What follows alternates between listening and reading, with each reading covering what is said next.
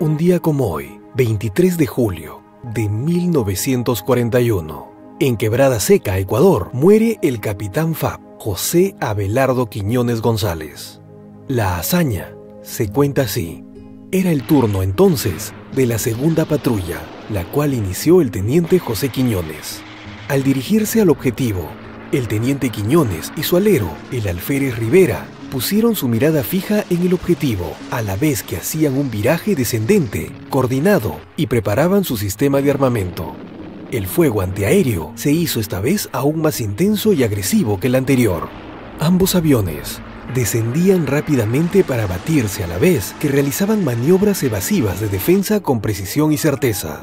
Aún así, el avión del teniente Quiñones es alcanzado durante el ataque por los proyectiles antiaéreos, los cuales hicieron brotar abundante fuego y humo del aparato.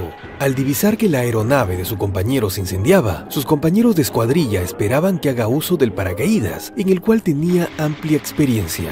Sin embargo, el teniente José Quiñones, lejos de usarlo, y en un acto de sublime desprendimiento, valor y coraje, recupera el control de la aeronave y realiza un viraje de regreso, dirigiendo su aeronave deliberadamente al lugar donde se centraba el nido de ametralladoras contrarias, estrellándose contra ellas y destruyéndolas por completo.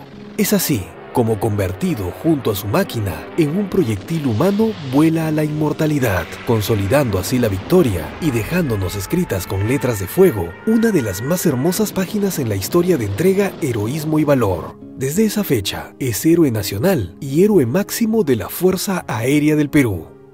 23 de julio de 1941, en Quebrada Seca, Ecuador, muere a los 27 años el capitán FAB José Abelardo Quiñones González.